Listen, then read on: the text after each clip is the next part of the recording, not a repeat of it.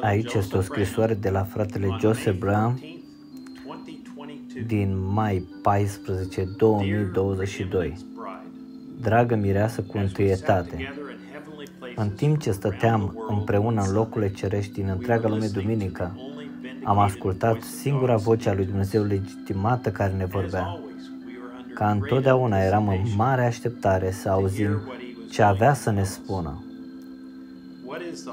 Ce ne va descoperi astăzi Duhul Sfânt? Poate că am mai auzit cuvintele lui de multe ori înainte, dar știam că acea zi avea să fie diferită. Urma să auzim ceva ce nu am mai auzit niciodată. Urma să primim chiar mai multă descoperire decât ne puteam imagina. El avea să ne deschidă inimile, mințile și sufletele și avea să ne descopere ceva care trebuia să fie descoperit acum, la vremea potrivită. Apoi s-a întâmplat. Cele mai mari cuvinte pe care mirele le putea spune și descoperi miresei sale. Tu ești plinătate de plină a Dumnezeirii în trup. Întâietatea, tot ce am fost eu, am turnat în Hristos. Tot ce a fost Hristos, am turnat în tine. Tu ești mireasa mea cuvânt aleasă perfectă. Toată ființa noastră a tresăltat de bucurie. Tatăl tocmai ne spunea că suntem mireasa Lui. Noi suntem cei pe care El îi iubește. Suntem pătrunși de cuvântul Său și numai de cuvântul Său. Pântecele nostru este închis pentru orice altceva. El ne-a așteptat și a tânjit după noi, pentru noi. Și știți ce? El nu a trimis niciodată pe altcineva să ne spună aceste cuvinte. El a venit și a locuit din nou în trup omenesc pentru a vorbi direct buză la ureche și să ne spună Te iubesc, scumpa mea mireasă. Ne place să cântăm, ne place părtășia, ne place să ne adunăm cu credincioșii, dar ceea ce ne place cel mai mult este să auzim vocea lui Dumnezeu. Așa vorbește Domnul, vorbindu-ne direct. Fiecare mesaj este o scrisoare de dragoste personală către noi. El a așezat fiecare cuvânt pe care El a vrut să ne spună pe o bandă magnetică pentru ca noi să le putem auzi cu propriile noastre urechi. Ce are de gând să ne spună și să ne descopere El în această duminică? Când ne vom aduna? Care este vremea? Isaia a vorbit și a spus, o fecioară va rămâne însărcinată și va naște un fiu, dar au trecut 700 de ani până să se împlinească acest lucru. Regele David a spus, îmi străpung mâinile și picioarele. El a vorbit ca și cum ar fi fost vorba de mâinile și picioarele lui, dar nu era vremea să se împlinească decât peste o mie de ani.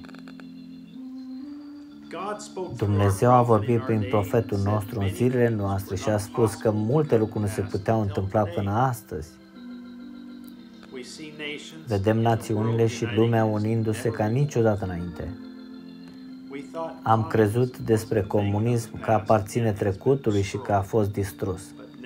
Dar acum vedem că este foarte viu și că este o unealtă mâine lui Dumnezeu, așa cum El a profețit și ne-a spus că este.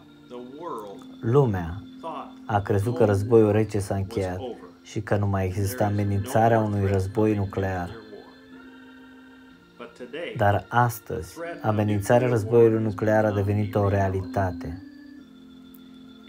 Totul este aranjat exact așa cum ne-a spus El că va fi. Vremea a sosit. Duminică, El va vorbi din nou direct către noi. De la buză la ureche și vom asculta încă o scrisoare de dragoste care a fost rostită și păstrată doar pentru ca noi să o auzim. Ce ne va spune și ce ne va descoperi El? Care este vremea? Ce are loc? Dumnezeu își unește mireasa Lui Ea vine împreună de la răsărit și de la apus, de la nord și sud. Există un timp al unirii și acesta este chiar acum. Pentru ce se unește ea? Pentru răpire. Deci, ce face acest mesaj în timp ce noi ascultăm vocea lui Dumnezeu în întreaga lume? Unește mireasa cu cuvântul. Cuvântul este Dumnezeu. Mirele este cuvântul. Mireasa este ascultătoarea acelui cuvânt, iar noi venim împreună într-o uni- uniune. Ne pregătim pentru o nuntă în care devenim una cu cuvântul. Tot ce este Tatăl sunt eu. Și tot ce sunt eu sunteți voi. Și tot ce sunteți voi sunt eu. În ziua aceea, voi veți cunoaște că eu sunt în Tatăl, Tatăl în mine, eu în voi și voi în mine. Vedeți? În ziua aceea. Ce zi? Această zi.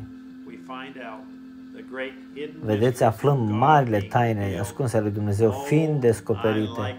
Oh, cât îmi place mie aceasta! Acum este timpul.